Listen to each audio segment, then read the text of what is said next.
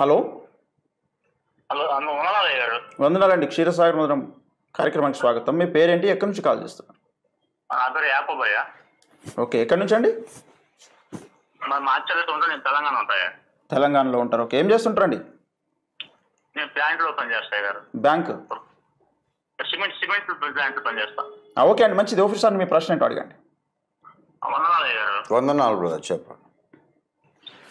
అయ్యారు ఇప్పుడు నేను బుక్స్ చదివాను బాగా యుగాంతం తీసుకొ చరిత్ర విశ్వప్రావిత పరిశుద్ధంగా కూర్చుని సంతోషం నాకెందుకో ఆ బుక్కులు ఎంతో సంతోషాన్ని అసలు ఎప్పుడూ వినని మర్మాలు వింటున్నాను నాకు ఇంకా అంటే ఇంత గొప్ప ప్రశ్నాత్మకుడు మిమ్మల్ని దేవుడు అట్లా ఈ తరంలో మిమ్మల్ని వాడుకుంటున్నాడు. దేవుని కృప.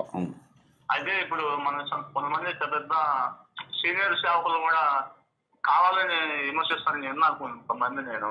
కావాలంటే తెలియకంటారు గారు ఎందుకంటే మీతో కలిసి రావచ్చు కదా వాళ్ళు. ఉన్న గొడవ అంతా అదే కదండి. ఇప్పుడు మీరు ఒక మాట అన్నారు.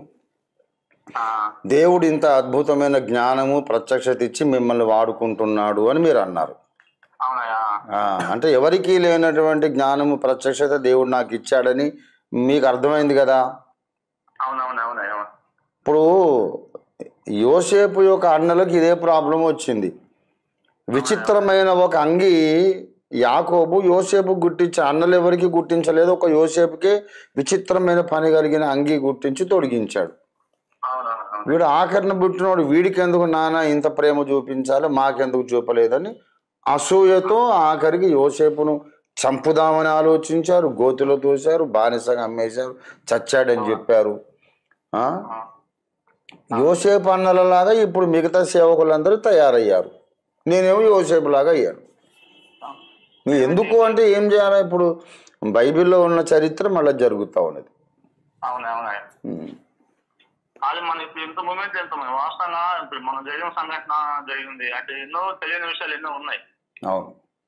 ఇప్పుడు ఏంటంటే ఇప్పుడు ఒకటే ఈ మూమెంట్ ఒకటే పెద్ద పెద్ద సేవకులు అంతా ఒకటైతే మాలాంటి చిన్న చిన్న సోర్సులు కూడా కొన్ని వస్తాం కదా అంటే మాలాంటి వాళ్ళు మేము కూలి పని చేసి పెట్టుకోవాలయ్యా ఇప్పుడు కలిసి నాయన పెద్ద పెద్ద సేవకులు కలిసి రావడానికి ఇష్టపడడం ఇష్టపడడం లేదు ఇగో ప్రాబ్లంతో. కాబట్టి ఇగో ప్రాబ్లంతో కలిసి రాకుండా ఉన్న సేవకులను విశ్వాసులు వదిలేయాలి. వదిలేసి ఇండిపెండెంట్గా వచ్చి నాతో కలవాలి. అదొకటే పరిష్కారం.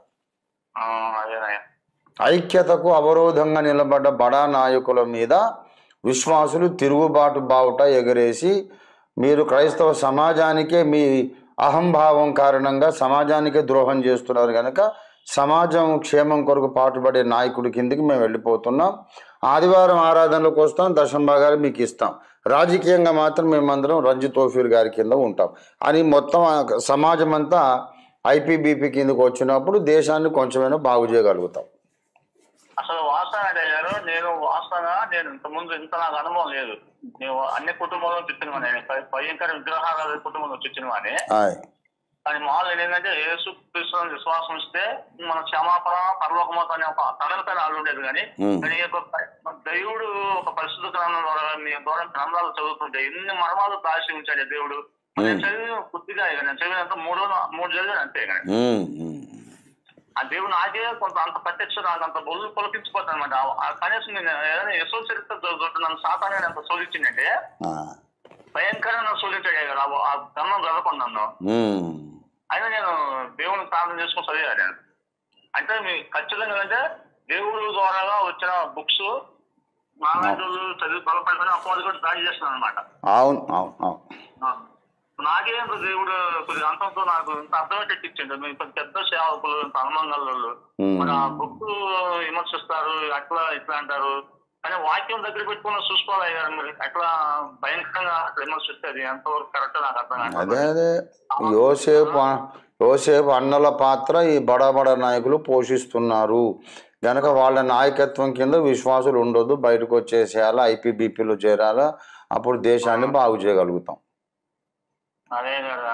నాయకుల మాట గుడ్డిగా వినొద్దు. వింటే విశ్వాసులను కూడా న్యాయపీఠం ముందు దేవుడు దోషులుగానే ఎంచుతాడు. మీ బుర్రకాయ ఏమైందిరా? మీ బుర్ర ఎందుకు ఉపయోగించలేదు? ఒక సరైన నాయకుడిని మీరు ఎందుకు సమర్థించలేదు? గుడ్డిగా ఎందుకు మీ నాయకుల్ని మీరు సమర్థించారని అడుగుతాడు. క్రీస్తు న్యాయపీఠం ముందు ఇవన్నీ లెక్కలు అడగడం ఉంటుంది. అదే మన వాళ్ళు మనం ఒకరికొకరు దూషించుకోవడం ఒకరికొకరు విమర్శించుకోబట్టి మనకు మనమే ఇదైపోతున్నాం కలుసుదాం అయిపోతున్నాం. అవును. ఇతర మనం చూసి భయపడేది. అంతే కదా. ప్రార్థన చేద్దాం. థ్యాంక్ యూ థ్యాంక్ యూ నాయన. గాడ్ బ్లెస్ ఓకే ఉంటాయి కదా. Thank you